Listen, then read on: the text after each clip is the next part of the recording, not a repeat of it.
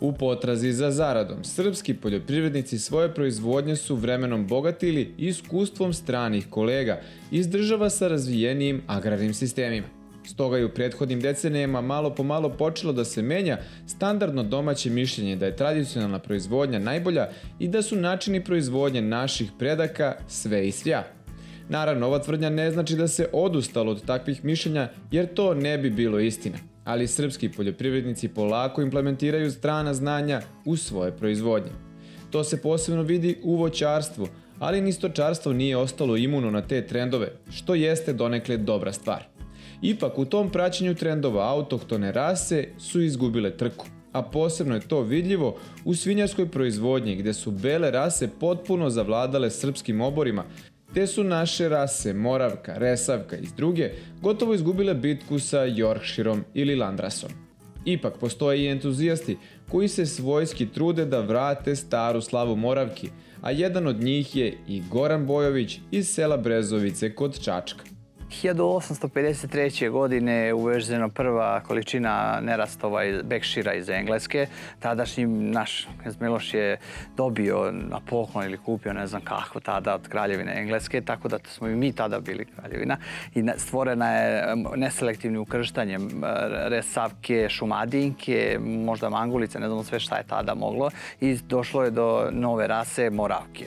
Tadašnja rasa Moravka je toliko zauzela primat u Srbiji da je Miloš bio jedan od najvećih izvoznika tadašnje Moravke za Austro-Ugarsku. Znači, bili su po selima su postali ljudi, trgovci koji su se bavili isključivo ugovaranjem i distribucijom same Moravke. Znači, tada nisu bili ni kamioni, ni transport, bilo je terano peške i skelama prevoženo preko Dunava gore tadašnje Austro-Ugarsku.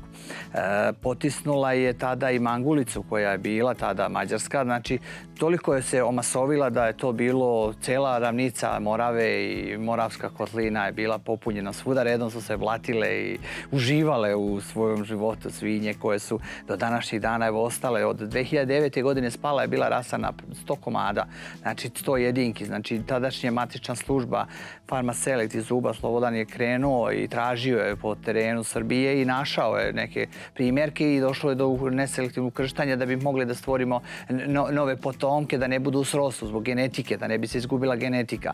Tako da je se rasa e, svaki put se iščišćala samim tim odabirom i, i smotrama i matičenjem. Svaki put se biraju najbolje jedinke za dalju populaciju i priplod.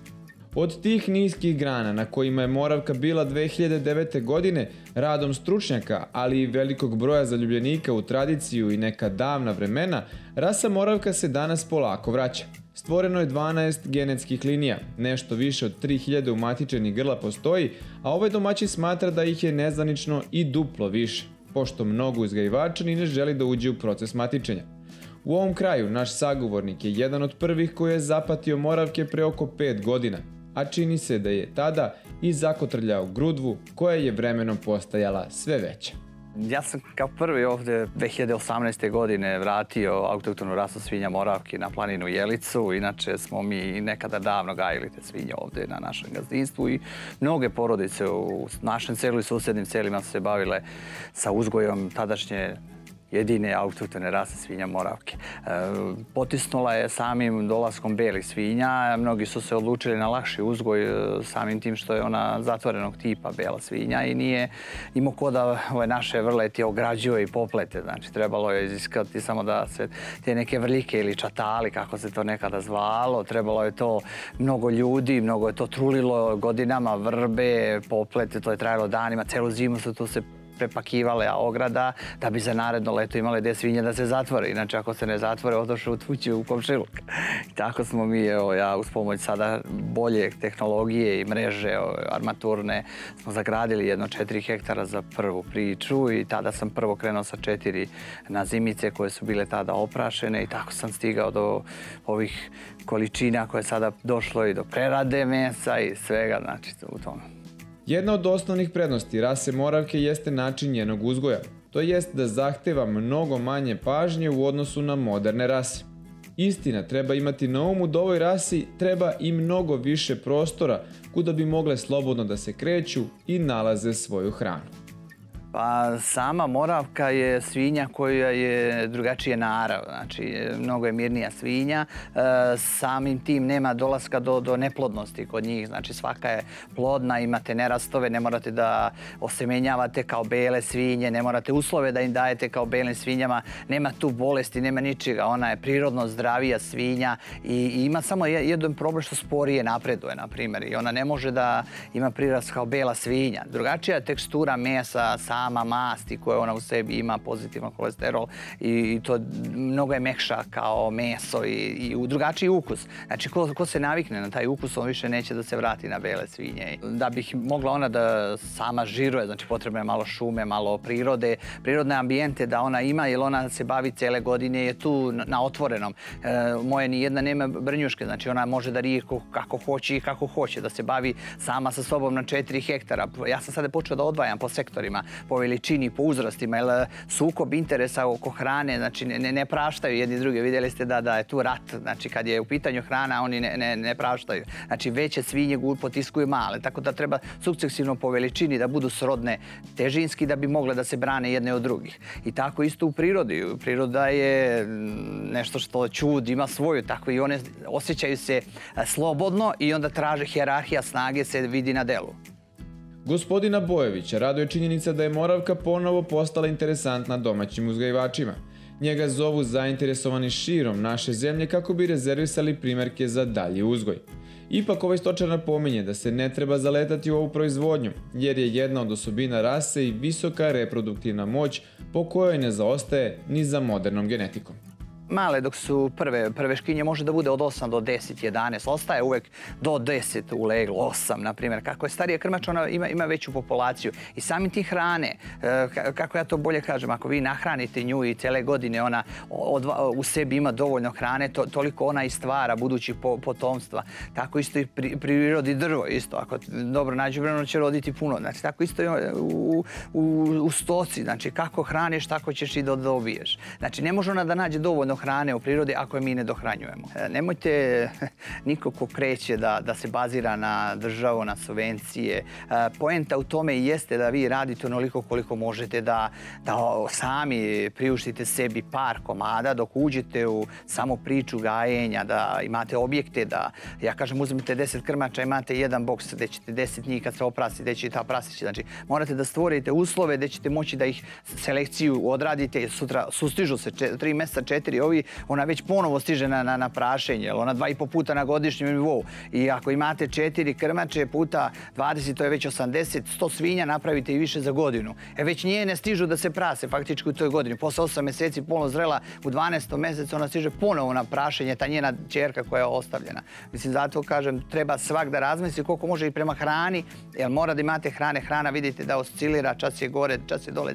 Znači, potrebno je da pripremite hrane da ne bi e, došlo do, do problema da nemate dovoljno, da kad krenete da kupujete e, svaki dan, onda postajete nervozni jer iziskuje non stop troškove, a vi ne možete da napravite ciklus pre, pre godine dana da počne da vam vraća novac. Najmanje je godinu dana do dve. Evo koliko je mene bilo potrebno da, da zatvorim ceo krug do, do prerade mesa i, i da dođeš do, do jednog nivoa da ti možeš e, svoju količinu i populaciju da smanjuješ po potrebi. Znači iz, izbacuješ viškove, naklani su prerada i ti si zatvorio ceo krug. Takođe, gospodin Bojović ima poruku za sve uzgajivače, i to ne samo ove rase, da subvencije koriste isključivo za unapređenje proizvodnje. Pa, mi smo kao odgojivači 9 plus 1, znači 9 krmača i 10 nerasti, imamo pravo na subvencije od 27.000, 12 plus 15 za genetičke resurse i mi smo to dobijali malo kasnije, kao i uvek, mislim, to je, e, zavisi, ogroman je novac, ogromna je tu e, cela priča papirologije i mi smo u tom smeru da taj novac preusmerimo za hranu. Tako sam ja rekao mnogima i koji se bave i sa kravama, e, taj novac ste dobili i uložite u hranu ili u objekte. Nemojte trošiti taj novac na nešto drugo. E tako isto, ja svake godine kad se dese te subvencije, kupujem hranu. I e, to je nešto što motiviše, kada imate hrane, lako vam je širiti se i dodavati na svoju hranu, onda lako širiš i količinu svinja. E to je nešto što si uložio u prave ruke, si došle novac i u prave ruke ćeš moći da, da koristiš i da dobiješ benefite dodatne od tog novca. Kada vidite našeg sagovornika kako ne skida osmeh sa lica dok priča o svojoj proizvodnji, ne bude čudna ni činjenica da je rasa Moravka u ovom kraju uspela gotovo nezamislivo. Naime, ona je ujedinila proizvođače, te se u ovom kraju rodila prava stočarska zadruga i to po modernim principima. Pa kad sam bio tamo na pitanje novinara u Nimbergu, kad se vratite u Čačak, šta ćete prvo da sebi uradite da bi se pojavili na ovom tržištu? Šta se mogu drugo da kažem? Da bi došli na tržište tako evropsko, mislim, ja kao pojedinac ne mogu da uradim ništa. I onda smo tu seli i dogovorili se da napravimo zadrugu. I onda smo birali ljude koji su nam potrebni e, po struci i znanju. Znači, profesore što ste bavi stočarskog svinja, znači prerada mesa, e, pravna služba, advokat, agroekonomista, trgovci, savjetovna služba, svi smo tim koji e, možemo u svakom momentu da odgovorimo na bilo koje pitanje koje su e, potrebe bilo kog od nas budućih proizvođača ili samim tim ugovorene proizvodnje e, i prerade mesa, znači sve što bude svakome trebalo može da nas obrati i mi možemo pomognemo. Cilj ovog udruženja pre svega je dalja promocija rase i podizanje brojnog stanja u što kraćem periodu. Koliko su Moravka i specialiteti od ove rase dobili na zamahu, govori u prilog i činjenica da je zadruga za svoje delikatese koji se proizvode između ostalog i u domaćinstvu Gorana Bojovića, nedavno dobila jednu od prestižnih nagrada te je proglašena za brend naše zemlje. Mi smo bili sada pozvani kao poljoprivredna stočka zadruga, sedištem ovde u Brezovici, ja kao direktor e, u Beogradu Zadruže Savez Srbije. Dođite da izložite svoje proizvode kao zadruga i tako. Mi smo konkurisali dva puta bili kao zadruga i nismo dobili dobar broj poena i nismo dobili sredstva koje smo htjeli tu da uložimo na planinu, na preradu, na sušare i onda smo ovako krenuli da radimo ja i Dragan e, intenzivno na, kućnom pragu.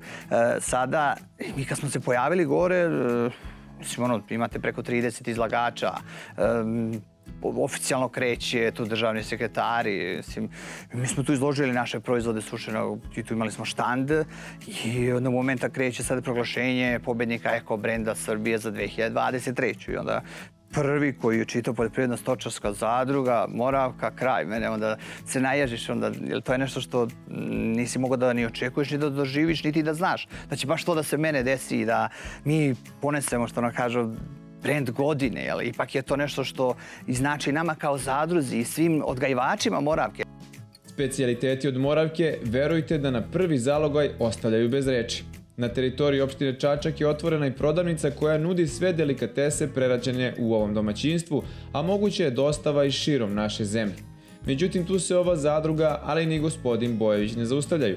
U procesu su dobijanja sertifikata i dozvola za izvoz prerađevina i na tržište Europske unije. Pa mi smo, evo, rekao sam sada, znači i Čačak i Beograd i odnete su meso i za Švajcarsku i za Francusku i svuda redo. Svi su oduševljeni sa time. Odlaskom u Nimber kad sam bio tamo i kad kažete italijano kako se zove svinja, on kaže crna svinja. E, vidite, to je nešto što mi imamo, naše ime. Ime, ime naše svinje je Moravka. To je nešto što i neće nikad smeti da izađe iz zemlje Srbije pod tuđim imenom, da, da ode to meso i da nekoga nam brendira. To je naš brend koji treba se zaštiti i da ima geografsko poreklo. Evo, mi sad smo ovde pod zaštitom Jelice i sve će biti pod geografskim poreklom, svo to što proizvodimo mi ovde, svi koji imamo svinje i sva prerada imaće oznaku sa geografskim poreklom. To je mnogo znači i svak će znati od koga kupuje on. Čini se da nije daleko dan kada će proizvodi od Moravke sa obronaka Jelice biti na trpezama širom Francuske. A to je sigurno najmerodavniji dokaz za tvrdnju da je pred ovom rasom definitivno svetla budućnost.